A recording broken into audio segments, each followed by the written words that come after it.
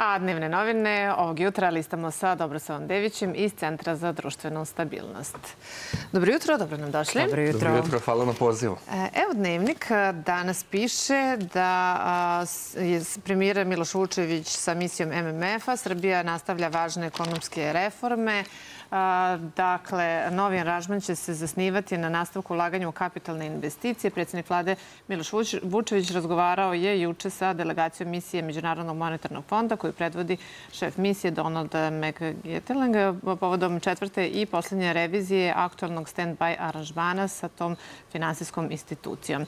A šta, šta je istaknuto tom prilikom i zašto nam je važan ovaj događaj? Koji je porak? Pre svega treba da kažemo da smo pohvaljeni da ono što je bilo dogovoreno da jeste i realizovano, dakle da se vodi jedna odgovorna fiskalna a, politika i da treba nastaviti sa svim kapitalnim infrastrukturnim ulaganjima koje naša država čini prethodnih godina i imali smo primjeri recimo pandemiju koronavirusa u čitavom svetu gde mi nismo odustali ni od jednog projekta, nastavili smo da privlačimo direktne strane investicije. Zaista kada pogledamo samo taj podatak, on je impozantan kada uporedimo recimo pre 10 godina i sada kolike su bile direktne strane investicije. Vidimo da poslednjih godina imamo preko 4 ovaj, milijardi direktnih stranih investicija svake a, godine, a kada imate direktne strane investicije to znači i posao za a, mnoge ljude i ono što je važno da se te investicije privlače širom Srbije, dakle da nemamo koncentraciju samo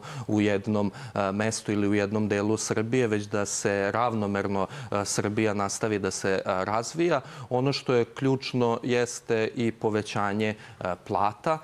Dakle, imaćemo povećanje plata u javnom sektoru kao što već znamo. Neki će i biti izdvojeni pa će imati i malo veće povećanje zbog njihovog statusa. To su prosvetare koji će dobiti 12% od naredne godine. Takođe, više puta smo isticali i pitanje penzija i povećanje penzija, zato što ako se setimo onih reformi upravo od pre 10 godina, penzioneri su bili ti koji su najviše, ovaj, od, najveću žrtvu, ajde da kažemo, podneli kada su doživali smanjenje njihovih penzija, ali tada je trebalo napraviti odgovornu tu fiskalnu politiku, uspostaviti temelje kako bi država mogla na tim zdravim temeljima da se podigne i ekonomski osnaži i da sada imamo plodove svega toga. Svakako da nas jedan ovakav sastanak ohrabruje da nastavljamo da produbljujemo saradnju sa međunarodnim institucijama, sa Evropskom unijom i da od njih dobijamo pohvale za ekonomsko vođenje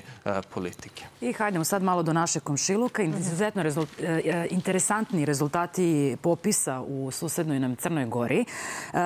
Interesantni su statistički podaci. Naime, 41% stanovništva se izjašnjava kao crnogorci, Srbi 32%, a što se tiče jezika, srpski srpskim jezikom govori 43%, a crnogorskim 34%. Kako vi to komentarišete? Ovo je drugi popis stanovništva od referenduma 2006. godine isticanja nezavisnosti. Pre svega moramo da napomenemo da je on održan 12 godina, kasnije prvi je bio 2011. godine, da je više puta odlagan. U prvi mah je odlagan zbog, opet spominjemo, korona virusa, a kasnije zbog neke političke krize. Pa se setimo, dakle, prošle godine više puta odlagan neke partije kao što je partija Mila Đukanovića, Demokratska partija socijalista, Albanska nacionalna manjina i njihovi partneri su predlagali čak i bojkot izbora. Na kraju je sklopljen jedan dogovor, bojkot ovaj popisa, na kraju je sklopljen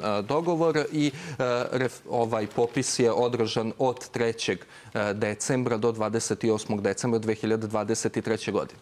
Ono što jeste onako malo čudno jeste da smo godinu dana čekali da dobijemo zvanične podatke popisa stanovništva u Crnoj Gori, pa su tu čak bili ovaj, neki duhoviti komentari zašto se toliko dugo čekalo. Ja se sećam izjave Milana Kneževića koji je rekao da bi se ručno popis obavio u Indiji ili Pakistanu i da sve te, ovaj, svi ti izgovori su bili u stvari veliki izgovori oko softvera zbog čega oni sada da. ne mogu da imaju konkretne i konačne e, rezultate popisa stanovništva. Juče smo ih konačno e, dobili. Vi ste spomenuli te podatke. Dakle, 41% se izjašnjava kao crnogorci, 32,93% 23, dakle bli, bliže 33. 33 Da. procenata kao a, Srbi i to ako uporedimo sa onim popisom iz 2011. godine, ajde tako da analiziramo, dakle, tada je bilo 45% oni koji su se izjašnjavali kao crnogorci, a 28,7%